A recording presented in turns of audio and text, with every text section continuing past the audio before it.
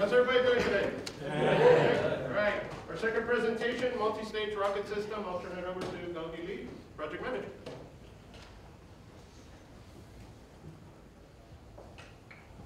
Thank you, Dr. Benavides. Welcome, everybody. We're very happy that you're here today with us. My name is Gan Hee Lee. I'm the product manager of Emperor Aerospace. Today we'll be presenting our preliminary design view for the multi-stage rocket system. On the agenda today is our mission objectives and constraints, the mission background, concept of operations, system definition, propellant introduction, as well as our system-by-system definition validation sequence. We'll have our stage one system, stage two system, payload fairing system, and we'll wrap it all up with a system-of-system validation. We'll have a question and answer session at the end. Our team management consists of myself, the product manager, and Blake Gaines, the assistant product manager. Our mission objectives are derived from a request for proposal by the customer in which the system was to be comprised of a first stage, second stage, and payload fairing. Our system of systems should also be unguided, recoverable, and reusable. What that means for us is that we have no active control system, and our rocket will be able to fly again with minimal, minimal input from the design team afterwards. Our altitude objectives are tiered in primary, secondary, and tertiary objectives. Our primary are required for mission success, our secondary are expected for mission success, and our tertiary are desired for mission success. Our altitude window for our primary objectives are 5,700 meters to 6,300 meters. Secondary objective, it's 8,700 meters to 9,300 meters. And lastly, our tertiary objectives are 11,000 meters, excuse me, 11,700 meters to 12,300 meters. It's important to note that we've designed our entire system for our tertiary objective altitude altitudes. Our mission constraints are that the system of systems will have a budget less than or equal to $1,550. The system of systems will have to abide by the FAA regulations surrounding the use of uh, amateur rockets. The system of systems will also have to abide by the launch site regulations, in this case the Tripoli Phoenix launch site uh, regulations. And lastly, we'll have a total impulse less than or equal to 5,100 5,120 newton seconds. We'd like to have our system fully validated by April 15, 2018. A brief introduction to the launch site. We'll be launching out of an area called Aguila, Arizona. It's roughly about an hour and a half, two hours from here. Uh, it's an area that's relatively flat and open. The scene depicted here is uh, very representative of the area. It makes it re really easy for recovery and launch. Some specifics to the launch site. There's a FAA waiver, which will refer to the temporary flight restriction. It's a six kilometer radius with an altitude of about 15 kilometers in height. I'd like to talk a little bit about our mission background and benefits at this point. Uh, in support of the design of this rocket, our system has developed a, ro a, robust rocket simulator through extensive modeling and simulation. This model includes an aerodynamic model, a propulsion model, and a recovery model, as well as a uh, heat transfer thermodynamics model. It's important to note that this model has uh, significant advantages towards compared to what's available on the market right now commercially and open source. We deal away with a lot of the assumptions and approximations in those uh, sequences. We'd like to validate our model through our experimental test flight. You're going to have a significant avionics payload on board, which would uh, give us tracking information and telemetry information about our flight. Should this model be fully validated, it would be a very powerful design tool available for future missions, as well as follow, setting a conceptual framework for future missions. Our design overview consists of our first stage at the very bottom here in orange. Our next stage is right on top of that, that's also powered. And lastly, our payload fairing segment is right on top of that. It's important to know that all three of these segments are modular independent, meaning they have their own systems and their flight control, excuse me, they're all modular segments with their own avionics bays and parachutes. Here's a simulation of our ascent. It's, this is, is going to go very quickly. The first stage burns out within three seconds, so just be ready for that. So we've got first stage ejection and stage two ignition right here. You can notice that we're very stable here. We stabilize, we stabilize at an initial attitude after launch, and we maintain that stability configuration throughout the rest of our duration. Our combined burn time is around six or seven seconds, and we spend around 40 seconds coasting to apogee, which is what you're seeing right here. There's some significant precession that begins to develop as we get closer and closer towards apogee, which we're expecting.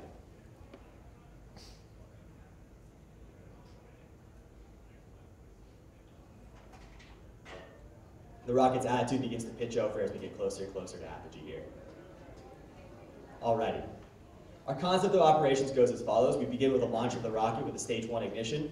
About three seconds later, the stage one is uh, stage one burns out and is ejected from the system of systems. Stage two ignition begins.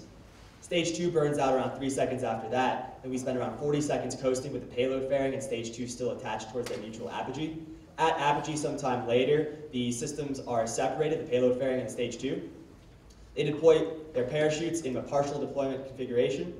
Sometime later, at a lower altitude, they go to a full, full deployment configuration. Lastly, the rocket segments are recovered on the ground by the design team. Some important uh, definitions here is that the flight duration is the time at which a rocket segment is launched, the time, the time at which it impacts the ground. The mission duration is the time at which the rocket segment is launched and is recovered by the design team. And lastly, a separation event is the time at which a segment is ejected from another segment. For example, a stage one separation event is outlined in step two right here, where stage one is no longer part of the entire system. At this point, I'd like to invite Blake Gaines to discuss our system definition.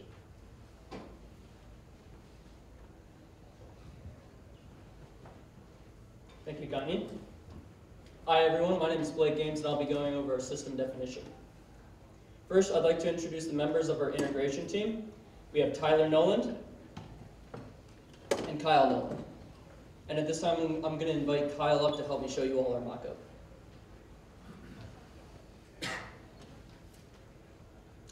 So first, here's a look at our design structure tree. You've heard Gagne talk a little bit about our MSRS. We will be going through our stage one, our stage two, our payload fairing, and our ground station. First, we have our stage one system. The purpose of the stage one system is to launch our rocket off the ground and get it up to an altitude at which the stage two can then take over and eventually get our payload fairing up to our desired mission altitude. The entire rocket, or the entire body will be made out of fiberglass. It comes out to be approximately 82 mil centimeters in length. It has an inner diameter of 54 millimeters and an outer di diameter of 59 millimeters. The entire mass of the stage will come out to be about 3.31 kilograms, and the motor's impulse will be 2,800 newton seconds. Here's a look at our interstage coupler. The interstage coupler will be made out of aluminum, and the, point, the point of the coupler is to transition our rocket's body diameter from down from a 40, 54 millimeter diameter down to a 38 millimeter diameter.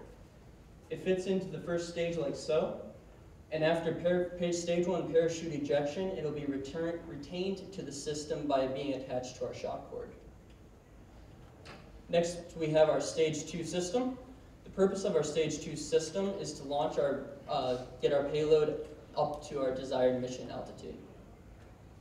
The entire length of the stage two system will come out to be about 88 centimeters long.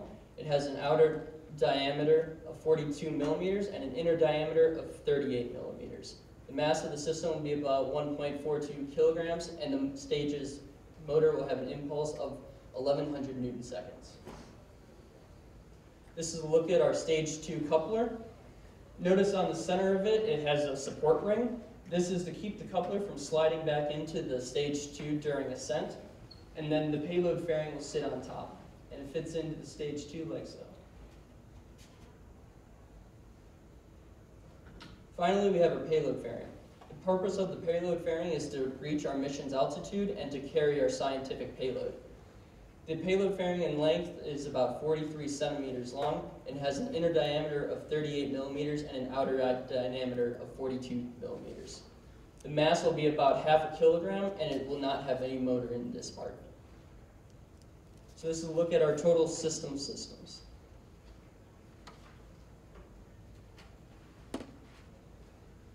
The entire rocket length comes out to be about 219 centimeters long the entire rocket will have about a mass of 5.24 kilograms, and the total impulse of the rocket will come out to be just over 4,000 newton seconds.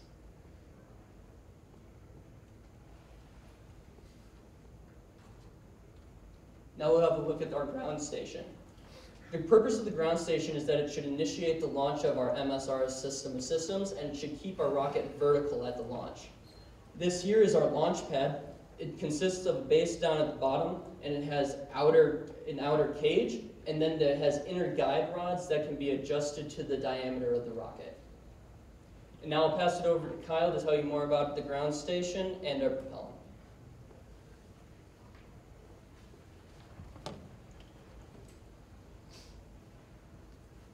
Thank you, Blake. Hello, I'm Kyle Noland, and I'll be talking more about the ground station system. The ground station system has two subsystems, the, uh, the launch tower that we have over here, and the stage one ignition control. The stage one ignition control will be wired to a safe distance away from the rocket and will be used to ignite the stage one propellant to launch the rocket. The launch tower we have here was designed and built by the PAL Senior Design Team in 2015. And it has the, a few important dimensions of a height of 2.8 meters and an inner diameter that's variable that can match the outer diameter of our rocket. Its purpose is to hold the rocket vertical uh, before launch and also to keep it vertical for the initial parts of our acceleration. Next, I'll talk about the propellant that we'll be using. The propellant that we chose is an ammonium perchlorate and aluminum power double powder double base mixture. We chose it because it has a high specific impulse compared to other solid fuels. It has minimal cracking and erosion properties, which can cause uneven thrust and uh, high pressure spikes. And it's also been used on the Embry-Riddle campus before in previous tests, and we have data from the, those tests. Uh, the major constituents are ammonium perchlorate, aluminum powder, and hydroxyl terminated polybutadiene, or HTPB. It also includes binding agents, which are used to hold the propellant together. It's important to note that we'll be using the same propellant on both stage one and stage two. These are the, the propellant characteristics that we want uh, from our propellant. Uh, we have the characteristic ex- exhaust velocity, which is a measure of the combustion efficiency of the fuel. And then we also have uh, burden rate coefficient and exponents that will determine how much thrust we'll be producing and how quickly the propellant burns. Uh, we also want a density of about 1,700 kilograms per meter cube, which is important for our uh, mass model of the rocket. We determine these based off of the performance necessary for the thrust curves of our dynamic simulation model. Uh, we plan to validate and characterize the propellant experimentally at a later date. The grain geometry we plan to use is a multi-grain geometry, and it will combine a regressive and progressive uh, propellant grain, which will create a bimodal thrust distribution. Here we have the uh, progressive grain we'll be using. It's a Bates or ballistic test and evaluation system grain, and it will produce a progressive burn starting at a low initial thrust and going to a high thrust at the end of the burn. It has a burn. This grain shown here has a burn time of about 2.8 seconds. And for our regressive burn, we'll be using a Finocyl grain, which has a regressive curve starting with a high thrust that gradually reduces over the course of the burn. Uh, this is a plot of a, the same outer diameter of a propellant grain and has a burn, much shorter burn time of about 1.4 seconds. By linearly interposing them, we can create uh, our bimodal thrust distribution with the regressive curve here in blue and the progressive curve here in green and our total curve here in black. Uh, it's important to note that we've made some assumptions for these, this model. We assumed a constant chamber pressure for the whole burn, and we assumed that we can linearly interpose these uh, grains.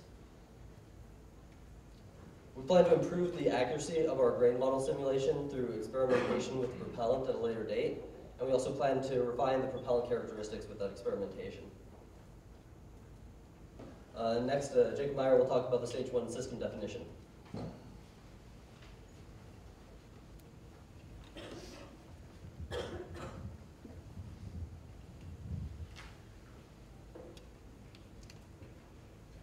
My name is Jacob Meyer, and I'll be going over the stage one system definition. Working with me on this was Joseph Mena. So first I'd like to go over a quick concept of operations for stage one. So first, the system will launch.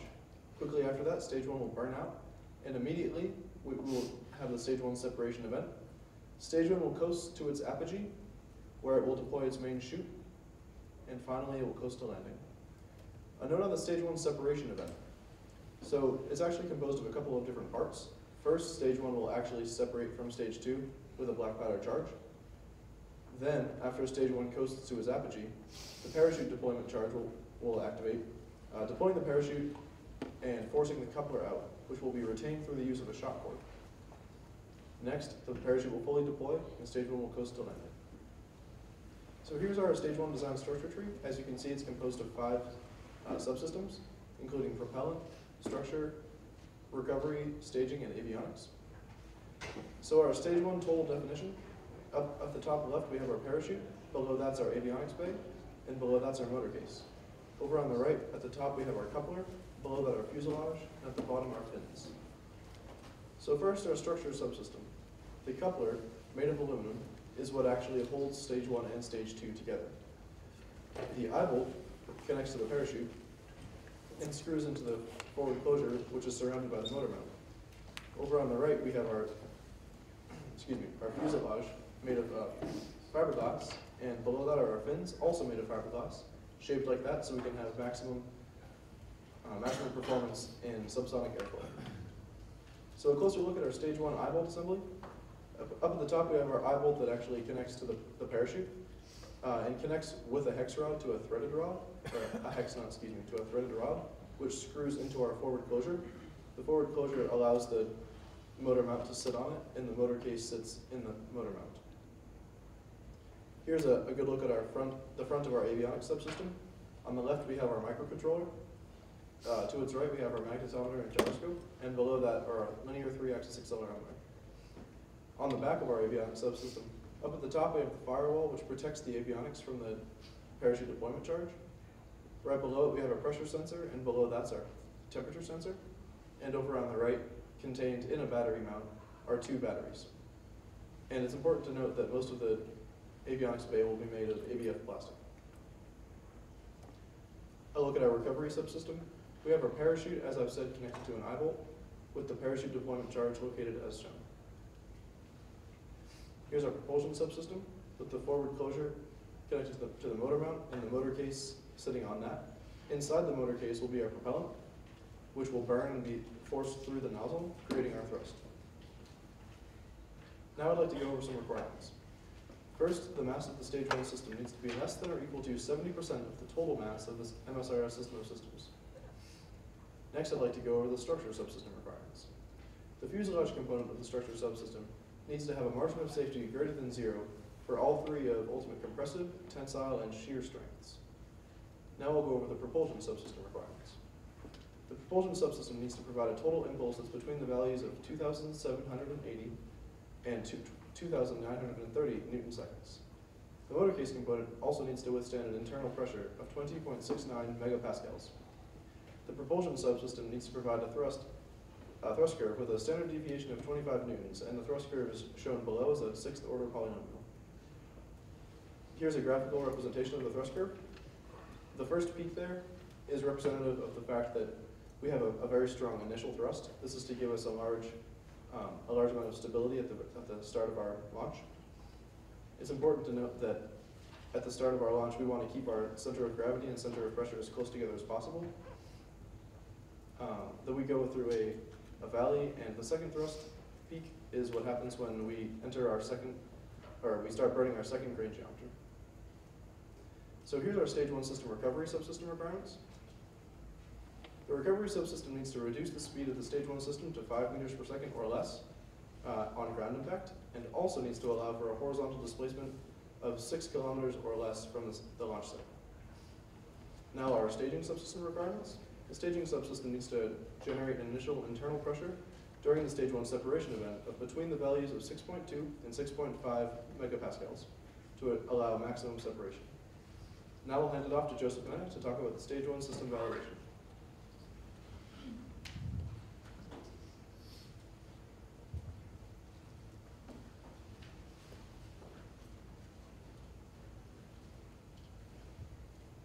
Thank you, Jacob. Hello, everybody. My name is Joseph Mena, and I will be going over the validation of state, the stage one system. Uh, our requirement was that the mass would be less than or equal to 70% of the total mass of the MSRS, and with a calculated mass of 57.44%, that requirement is numerically validated. Now I will be going over the structure subsystem validation. Uh, we did uh, a mesh in, of the fuselage in ANSYS, specifically mechanical APDL. We did three separate meshes, a coarse mesh, an intermediate mesh, and a fine mesh. Uh, the solutions all converge on the same values, uh, so we have the correct mesh, or correct, we have the correct process. Uh, here is the load, the load state of the fuselage you have the thrust, drag, and weight acting in the axial direction, while the lift in the x and y acts to the side. Uh, we had a required value of a margin of safety greater than zero for the ultimate tensile, compressive, and shear stresses. And in both ANSYS and our hand calculations, those requirements are numerically validated. Further validating our structures is the fact that in max stress, max strain, and max work, also known as Tsai-Hill theory, the three principal failure modes of composites, we have, uh, we have values that uh, work with the required val values. Here is our load state from the top down. As you can see, you have the ultimate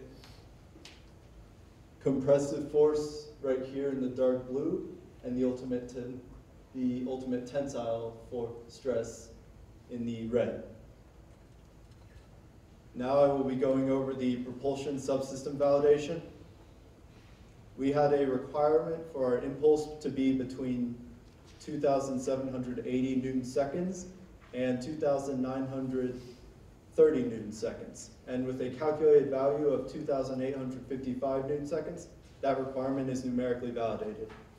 We also have a requirement for our internal motor casing pressure to be less than or equal to 20.69 megapascals, and with a calculated internal pressure of just under 14 megapascals, that requirement is numerically validated. Here are the different lengths of the uh, grains that we will be using. You have the 22 centimeters of the progressive Bates grain and 25 centimeters of the regressive Finocyl grain. Uh, based off initial simulations, it gives us this thrust curve. However, in order to validate the requirement, we will have to test this experimentally. I will now be going over the recovery subsystem validation. Uh, we had a requirement for our impact velocity to be less than or equal to 5 kilometers per second, and with a calculated value of 4.5 meters per second, that requirement is numerically validated.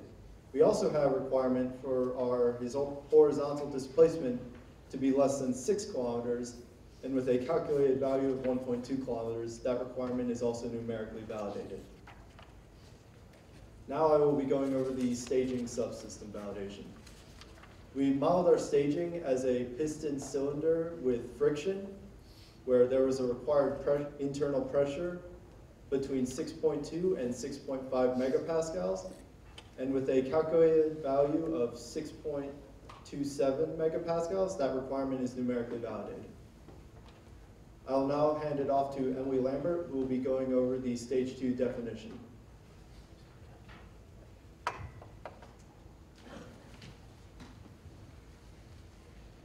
Thank you, Joseph. Uh, my name is Emily Lambert, and I'll be going over the Stage 2 system definition. With me today is my team member, Unova Book. Now I'll be going over our Stage 2 system concept of operations. This starts with our Stage 2 ignition, goes to our Stage 2 burnout. From here, we will coast to apogee. At apogee, we will signal our Stage 2 separation event, which will lead to the partial deployment of our Stage 2 parachute. Sometime later, we will have full deployment of our parachutes, then we will coast to the ground. Here's a more in-depth look of our stage two system separation event. At apogee, we will have a black powder charge that will separate stage two from the payload fairing. Sometime later, we will have another black powder charge that will separate the coupler from stage two, which will produce the partial deployment of our parachute. Sometime later, we will have full deployment and coast to ground. Here's a more in-depth look at our partial deployment system. When the signal is sent, our separation mechanism will cut the connection cord, releasing the, ex the extra parachute cord, having full deployment of our parachute. Here's our stage two system design structure tree. I'll be going over the structure, propulsion, recovery, staging, and avionics subsystems. Here's our stage two system definition. First, we have our motor case. On top of that, our avionics. On top of that, we have our parachute and coupler. On our left, we have the fins and attached to our fuselage. Here we have our mass breakdown. Most notable, we have our propulsion system, which comprises of 67%, which is the majority of our mass. Our total mass of the system is 1.43 kilograms. Here's our stage two system structure. Here we have, uh, number one is our motor mount, which will be epoxied to the, to our fuselage and attached to our eye bolt. On top is our coupler, and that will be our interface with the payload fairing. Then we also have our fins and our fuselage. Here's our stage two system avionics, where we have our motor mount, and on top of that, our motor mount uh, plate, which the avionics will sit on top of. The threaded rod will go through the avionics and connect to the forward closure on top of our uh, motor case. On top of that, we have our eye bolt, which connects to our parachute. Here's a more in-depth look of our avionics. In front, we have our batteries in our battery bay. And then on the left, we have our temperature and pressure sensors. On our right, we have our accelerometer and our IMU. Our IMU has a magnetometer and a gyroscope on it. All of this is held within our avionics mount with a firewall on top. On the backside of our avionics system, we have our microcontroller, and on the left, we have an open section so that our microcontroller can interface with our accelerometer and our IMU. Our avionics uh, system will be required to control our stage two ignition, the separation event, and the parachute deployments.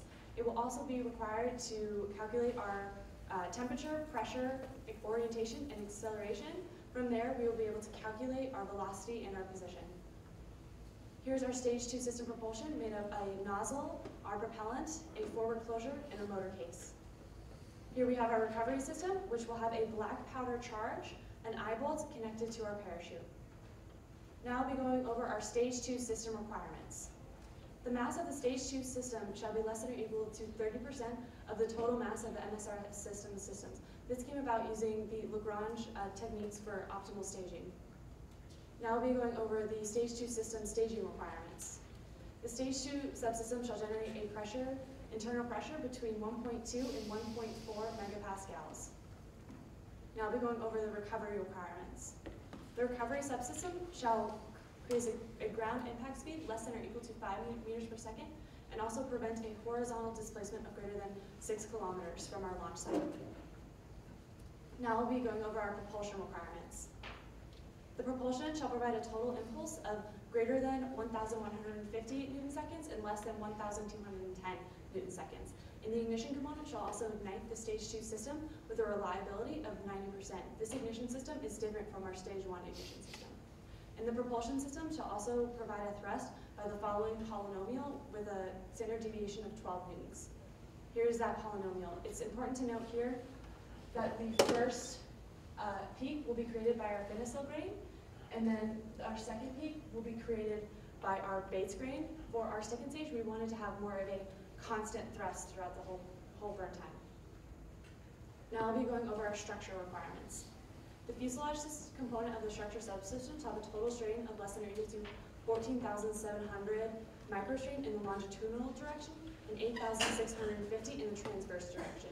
The fuselage component shall also have a margin of safety greater than zero for compressive, tensile, and shear strength. Now I'll be passing it over to Unova to go over our stage two validation.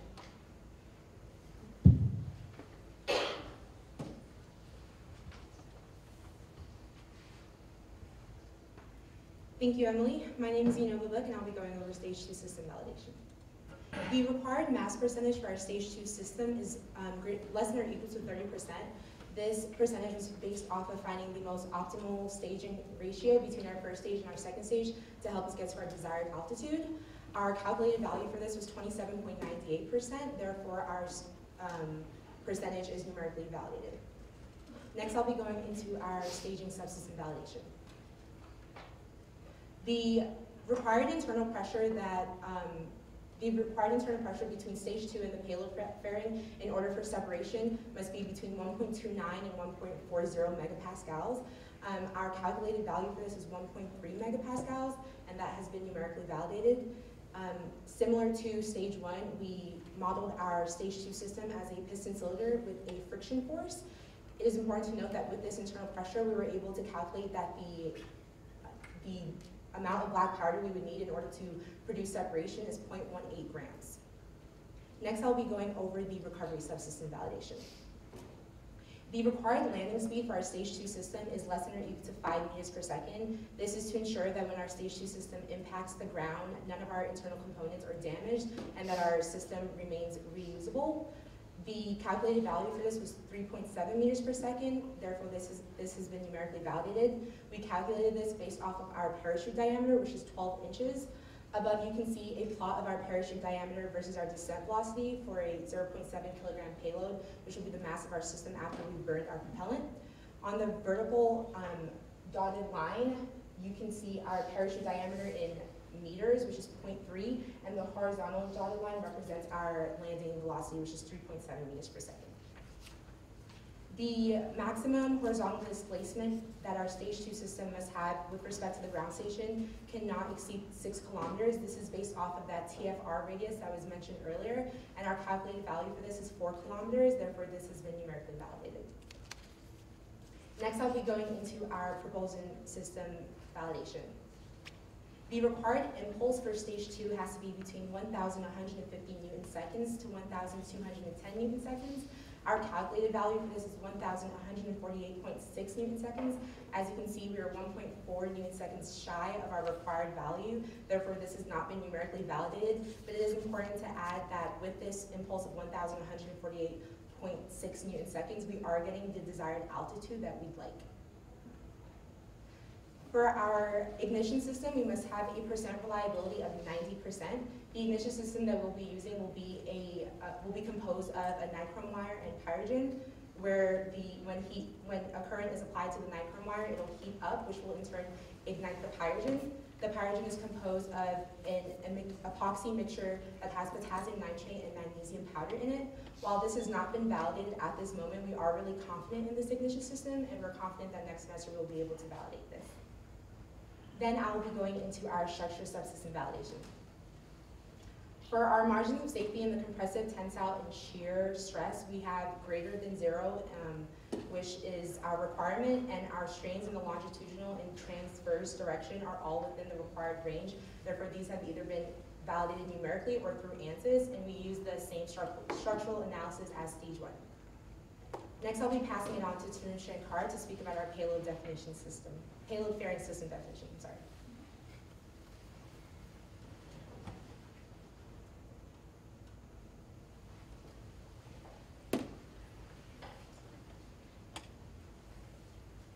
Thank you, Nova.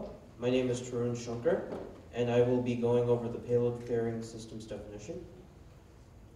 Alongside working with me is Chloe McClellan.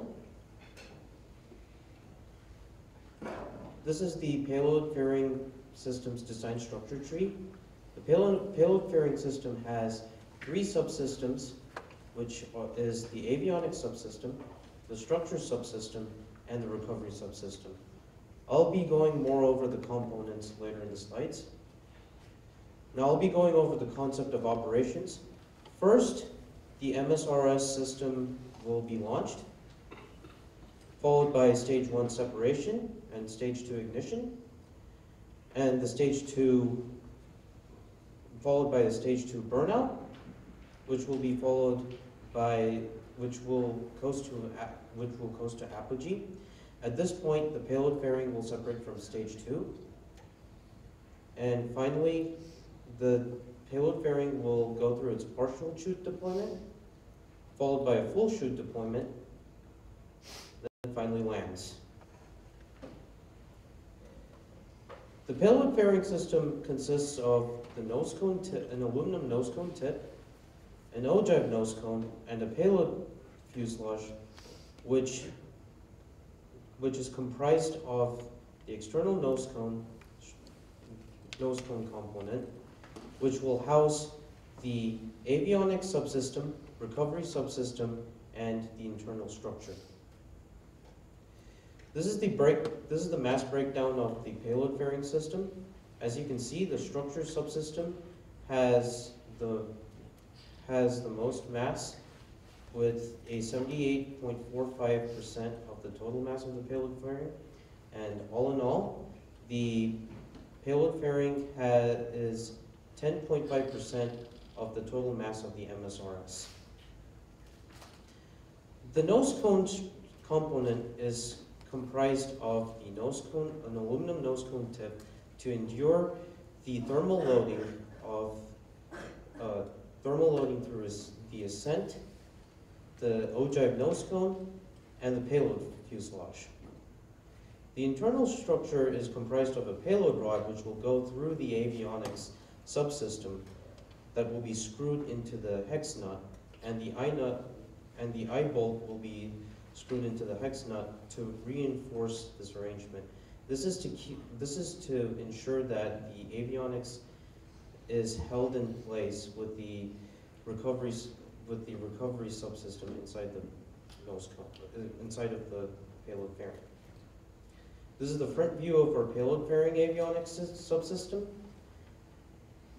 Our avionics subsystem is comprised of a microcontroller, which is mounted onto a payload fairing mount and is attached to a firewall. The firewall is to keep all of our avionics components from getting damaged from the black powder charge. This is the back view of the avionics subsystem. We have a temperature sensor, a battery in the battery bay, our pressure sensor, gyroscope and magnetometer, as well as a three-axis accelerometer. The gyroscope, magnetometer, and accelerometer are responsible for giving the payload fairing system, for giving us the payload fairing system state data. Finally, this is the payload fairing recovery subsystem, which is comprised of the the black powder charge, which is responsible for the parachute deployment and the parachute itself. Now I'll be going over the avionics requirements of the payload fairing. The avionics subsystem shall signal the parachute deployment sequence after the payload fairing reaches apogee within five to seven seconds. It shall calculate and record the altitude, velocity, acceleration, and orientation with respect to the ground station greater than or equal to 24 hertz. Shall function while under an acceleration that is greater than or equal to 24 Gs and it shall function at an operational temperature between negative 40 degrees Celsius to 80 degrees Celsius. Now I'll be going over the structure requirements of the payload fairing. The nose cone component of the structure subsystem shall have a margin of safety that is greater than or equal to zero for ultimate compressive strength, tensile strength, and shear strength, and it shall not permanently damage, deform from a stagnation temperature of less than or equal to 260 degrees Celsius. Now I'll be going over the recovery requirements. The tracking component shall allow the payload system to be tracked within a distance that is less than or equal to 25 meters, and it shall transmit latitude and longitude of the position of the payload fairing less than or equal to 25 meters from the location. This is the schematics of, this is the schematic of the payload fairing avionics tracking system. First, the sensor data will be inputted into a modem, which will convert the data into a two-tone sound. The sound will be inputted into a modulator alongside with a waveform signal. The modulator will match up the frequency of the sound to the waveform of the signal, which will then output a piggy, a piggyback signal. The piggyback signal is then amplified through an amplifier, which is sent through the antenna and is broadcasted to an handheld receiver. Now I'll be passing it over to Chloe McClellan, who will be discussing about the payload fairing systems validation.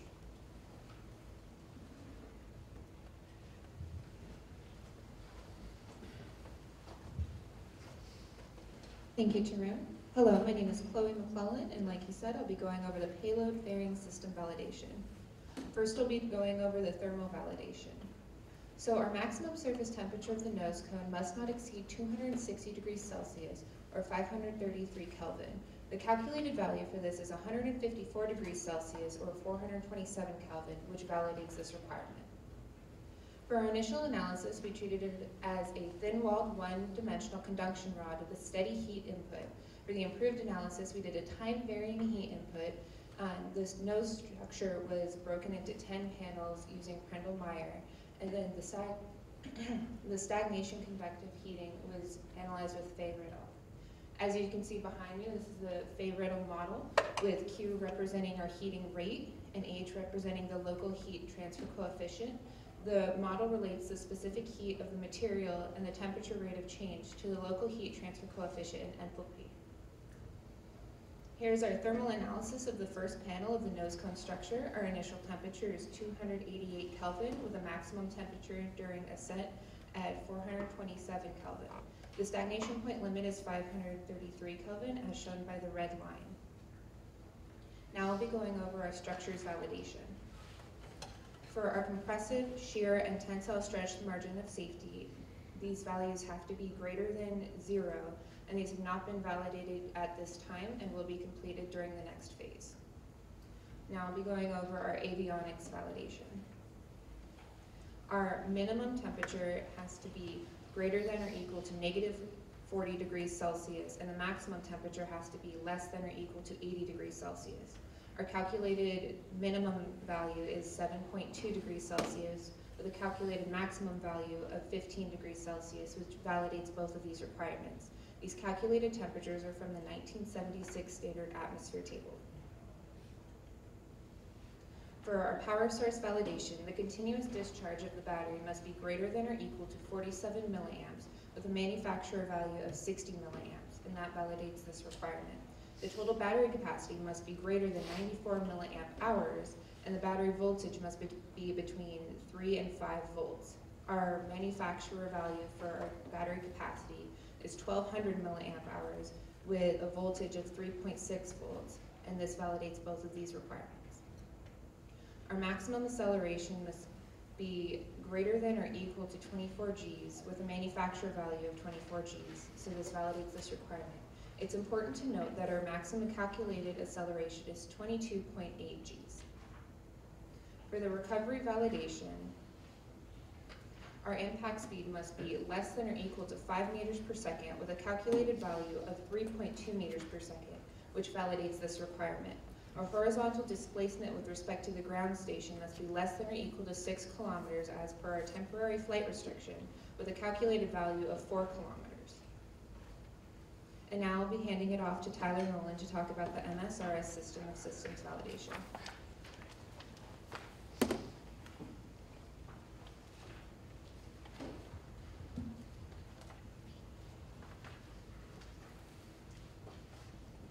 Thank you, Chloe. I'm Tyler Nolan. I'm going to be talking about how we numerically validated our system of systems. The requirement we're validating for the system of systems is our altitude requirement, where we need to get the payload between 11,700 and 12,300 meters. In order to validate this requirement, we created a six degree simulation, six degree of freedom simulation, which included an aerodynamic model, a thrust model, an attitude model, and a changing mass moment of inertia tensor. To, uh, to the right of the slide, you can see our free body diagram for this model. For the model, we used three different coordinate frames. The first is an Earth-centered inertial frame. The second is a southeast zenith frame, which is centered at the ground station. And the third is a body fixed frame, which is centered at the nose tip of the rocket. For our attitude parameterization, we used a 323 Euler rotation. So first we started with a sum of forces on our rocket. We have three forces. We have the thrust force, the gravitational force, and the total aerodynamic force, which acts to the center of pressure. All of these forces, the dynamic forces, uh, are all calculated in the body frame. So when we calculate our angular acceleration, or our linear acceleration, excuse me, we had to uh, convert those uh, into the Earth-centered inertial frame and propagate those in the inertial frame. We also create a sum of moments. Uh, the two moments we are uh, we're simulating here are uh, one moment from the uh, any off-center of thrust. If the action line of action of the thrust is not acting directly through the center of mass, there will be a disturbance torque. And the second is a uh, stabilizing force due to the center of pressure being behind the center of mass. The aerodynamic force will create a stabilizing moment. Using uh, that total sum of moments as well as a dynamic term, we are able to get our angular acceleration. With those accelerations, we were able to get our current state and differential state, which is what we propagated in our simulation. For our aerodynamic model, we broke up axial drag into four different components. We broke up into the skin friction drag, base drag, transonic wave drag, and supersonic wave drag. All the aerodynamic forces we modeled as acting through the center of pressure, which at subsonic speeds we calculated using a Barrowman method, and at supersonic speeds we calculated using theta beta Mach relations and a Prandtl-Meyer function. Here's a breakdown of our coefficient of drag versus Mach number for each of those components as well as their sum. For our thrust model, we are use those thrust curves that we showed earlier for stages one and two. Here they are again for your reference. Using those thrust functions and the model we developed, we were able to create a trajectory for our rocket. Shown here is the trajectory. Uh, as you can see, we reached just under 12,000 meters, which is well within the range defined by our requirements. And we reached that altitude in just under 45 seconds. One of the, uh, one of the factors which can affect the uh, altitude achieved by our rocket is the wind during launch. This uh, is shown with a simulation of 5 meters per second constant wind in a southerly direction. As you can see, we only lose 84 meters uh, at maximum apogee. Uh, and this is still well within the range defined by our requirements. Uh, this is a, six a three-axis plot of our uh, translation and velocity uh, throughout the flight with that uh, very heavy wind. Uh, as you can see, we move south quite a bit during the launch. Um, however, only moved less than two kilometers before we reach apogee. Uh, each of these vertical lines here, the first dashed vertical line on the left is the stage one burnout event. The next one is the stage two ignition event, and the last one is the stage two burnout. And now I'm going to hand things back to Ganhee Lee, who is going to wrap up our presentation.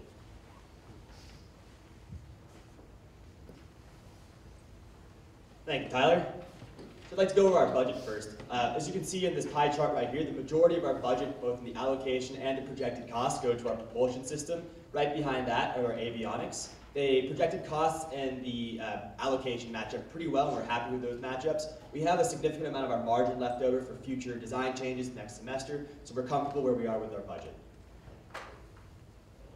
Our labor hours for this presentation, as well as for the design, come up to 2,500 hours. Uh, the majority of those hours are spent in engineering and professional development, where professional development was uh, time spent by the design team working on this project in class, and the engineering hours was time spent by the design team working on this project outside of class. At this point, we'd like to thank the following individuals for their help with this project, specifically Dr. Julio Benavides and Dr. Patrick McElwain, our course instructors, as well as Dr. Gentilini, who's attended all of our design reviews. I'd like to open up the floor for questions and invite the rest of my team to join me up here.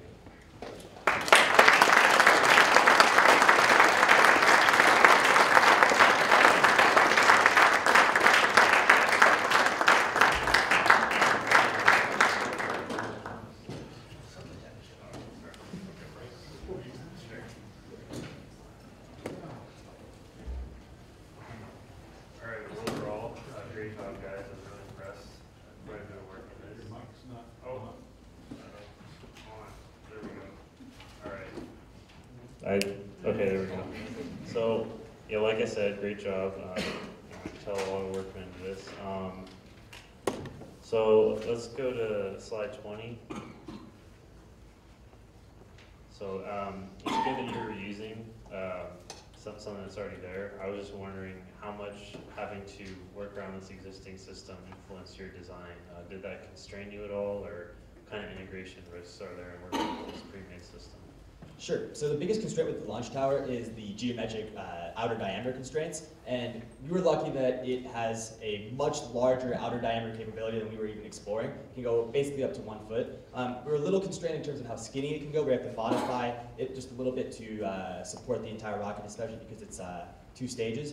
But the biggest benefit of using this, uh, this big tower right here is that it's an integral part of our stability component at launch. It's, it's very tall, so that helps us maintain a you know, perfect attitude during that launch segment to build up the speed.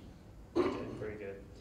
Um, I had a question about um, your how you're going to verify the all the flight components, the avionics, but you answered that later on the the twenty-four G requirement, is that gonna be verified using, uh, an ANSYS structural analysis? Are you gonna do some kind of vibration test, or what's your plan for that? Right, so the 24Gs specifically from the avionics is that uh, when we're selecting components, they would have to be uh, manufacturer rated towards 24Gs of dynamics. Uh, we're interested in the vibrational and dynamic analysis just on our rocket itself, but we're not going to uh, validate those requirements on the avionics separately because uh, overall, if we have good information about our uh, drag characteristics, our aerodynamic characteristics, as well as our propulsion characteristics, we believe that we can have an accurate understanding of how fast this rocket will, or the dynamics of the rocket will be experiencing during flight.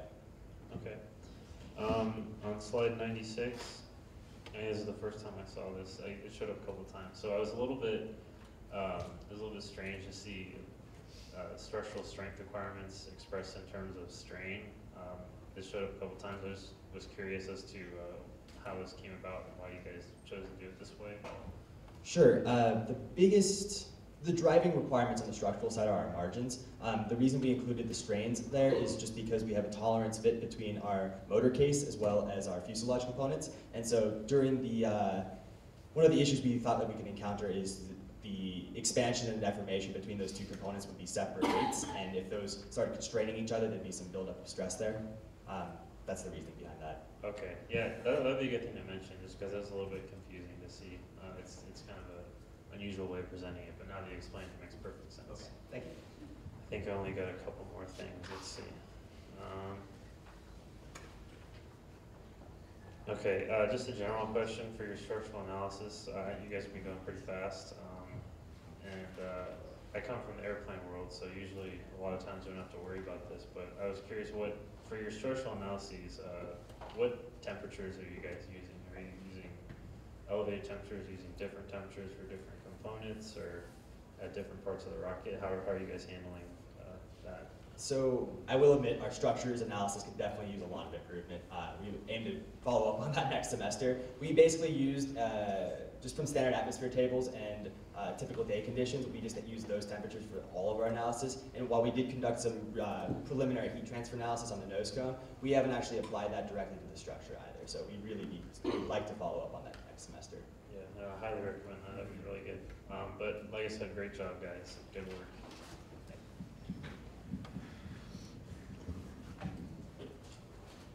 Excellent, very comprehensive presentation. Speaking as someone who grew up building flying model rockets, there's nothing more exciting than building flying your own rocket. Um, So, um, I just had a couple of questions about your altitude and range requirements. Uh, you- You stated initially that uh, there were, that there were three altitude requirements, and yet the subsequent information seemed to suggest that you're going for the twelve kilometer altitude. So what was the purpose of the other two? Sure. Uh, so initially, I might have not been as clear as I should have been on that. The uh, customer request for proposal was for a rocket based off of primary, secondary, and tertiary objectives, where uh, the altitudes were tiered. Either design for the primary altitude objectives or the secondary or tertiary. They're not so that we would be flying concurrently, where uh, if we launch our rocket and we only maintain our secondary objectives during that flight, we would not be uh, content with that. We'd just be shooting for the one that we actually designed for. Does that clear things up? Yeah.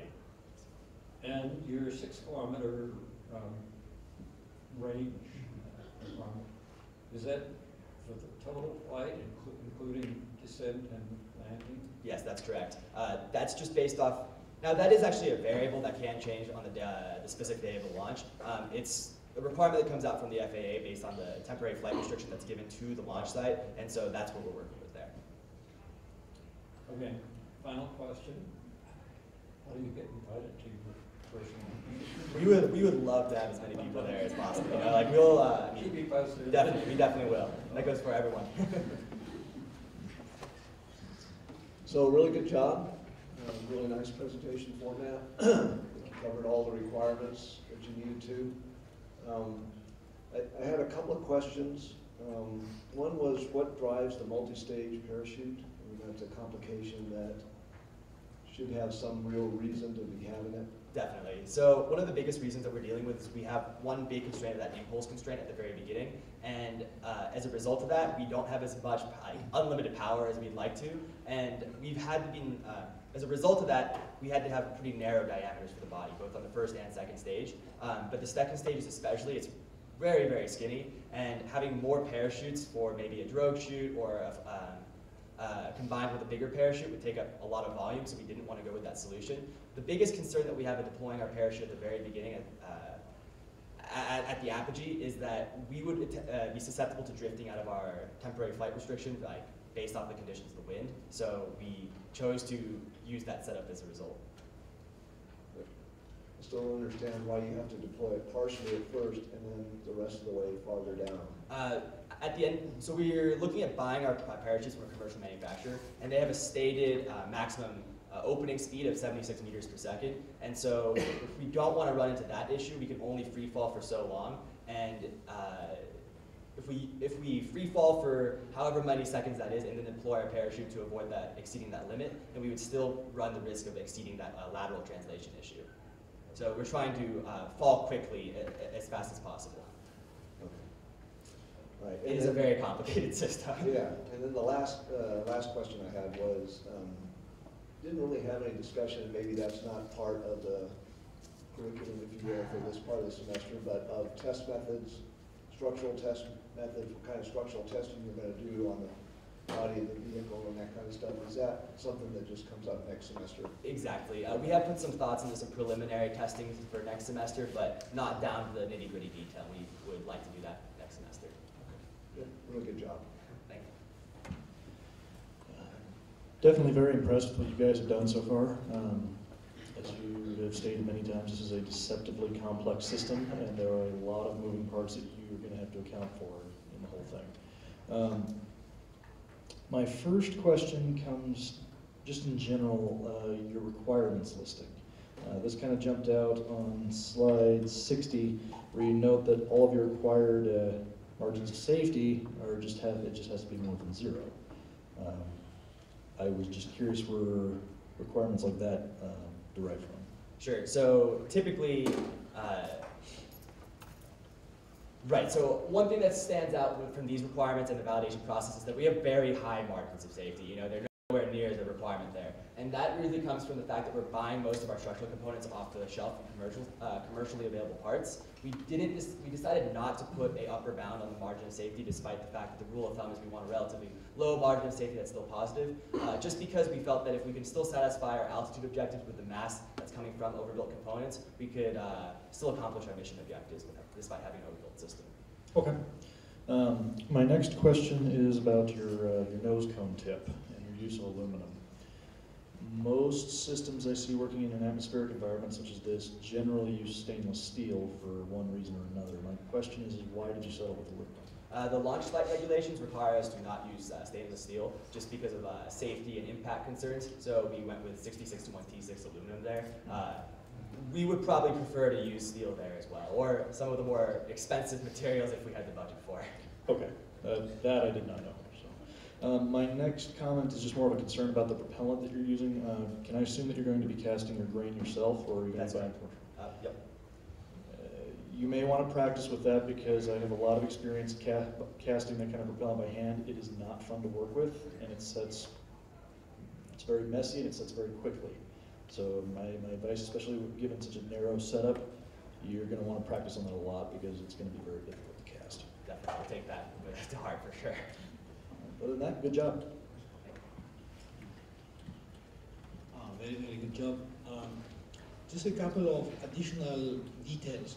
Uh, On uh, page 11, when you were showing the simulation, you mentioned that you are, uh, in the first few seconds, stab- stabilizing the vehicle, but I- I I guess that is a passive thing, like keeping the center of pressure below the center of mass. Yes, that's correct. Yeah, so you may want to want, uh, mention that because I, I knew it, but uh, perhaps the audience, okay? Um, now, on page forty-one, and then later on will be eighty-one and uh, one eighteen is two batteries, why? Uh, one of the biggest issues that we ran into is if you look at the validation sequence, we have quite a bit more capacity than we need for our mission. Uh, but our, some of our components require a maximum discharge capacity for the batteries, and a lot of the commercially available batteries weren't able to dis, uh, di- um, deliver that continuous discharge capacity. So we wired them uh, parallel to increase that. Uh, Oh, okay. that- So it's range. basically one battery. Exactly. Okay. Um, and then 40, 82, and 117, um, um, did you decide what microcontroller to use uh, yet? Yes, we're, we're looking to use the Arduino TT. Okay, for all the three stages. Yes, that's correct. Excellent, very good. Um, now, on page 60, uh, simulating uh, this type of material is very complex because they're anisotropic, and my guess you, you just simulated an isotropic material. We use it as orthotropic, uh, Okay. but yes, Okay. it's actually. So, the question is more in general, why you went with, uh, you know, with the structural uh, fiberglass material instead of having perhaps aluminum for the structure plus uh, outside shell or something like that? We definitely looked at that initially in the trade studies. Uh, it really came down to composites, uh, specifically fiberglass and 6061T6 aluminum. The biggest thing is between the weight of the aluminum, we thought that we would struggle meeting the impulse, uh, given the impulse constraints, we'd struggle meeting our tertiary altitudes, which is what we really were. Um, the modeling aspect is very tricky, especially given the fact that our, our, our structural modeling is not very mature yet. Um, we would like to follow that up with some experimental testing to supplement that uh, next semester, but we're not exactly sure how we're going to validate that completely, so we're sure of that. So are you planning to buy pipe already? Yep, we're going to buy pre-manufactured uh, fiberglass tubes from. Uh, Well, you could use a compressive machine and do some compressive testing. there. right. Yes. So, Mhm. yeah, that's very good. Just given the length of our rocket, we're very concerned about the buckling that it'll be experiencing. Yeah. You may want to see that in the test Yes. before, in the lab before in, out in the field. Um, now for uh, slide 136. Um, uh, no, I think 37 then, sorry. Yes, uh, so the, um, actually you have already answered the question was related to the two batteries, so I think I'm good. Um, and then 143 and all the system of system validation that you performed. Um, did you perform this one on both configuration, meaning two stages and, and then one stage? Yes, our full configuration, excuse me, our full simulation allows for the multiple sim, uh, the multiple configurations as they happen in real time, or in discrete time. Yeah. Because the most critical part in this design is really keeping the center of pressure below the center of mass. So how did you do that calculation? Right, and so that's something that we have to expand upon. Uh, we have a, we're very confident in our subsonic center of pressure analysis. Our supersonic center of pressure analysis needs some refinement, just because we are uh, unsure about the interaction between the size of those fins and the flow field on the outside of the Mach cone. That's something that we need to look further into. Um, initially, we started out with, a, for the center of pressure, we initially started out with a uh, very big approximation with the Barrowman methods, which is just a basic component buildup. But uh, we refined that with starting at the nose cone. We did a uh, Navier-Stokes analysis with the, uh, the pressure, the field distribution outside, and then discretized our nose cone into the panels um, using the Prandtl-Meyer method to figure out the pressure distribution on the nose cone. And then after that, on the fuselage, it was a little bit more easy just to do the uh, uh, uh, component buildup methods after that. Um, but it needs refinement. Yeah, very good. Uh, and 158, so like I did with the other team, this if you divide that by 10 and by 15 weeks, it goes up, actually to 17 hours per student per week. Yeah, that's, uh, that's a lot. Congratulations. Yeah.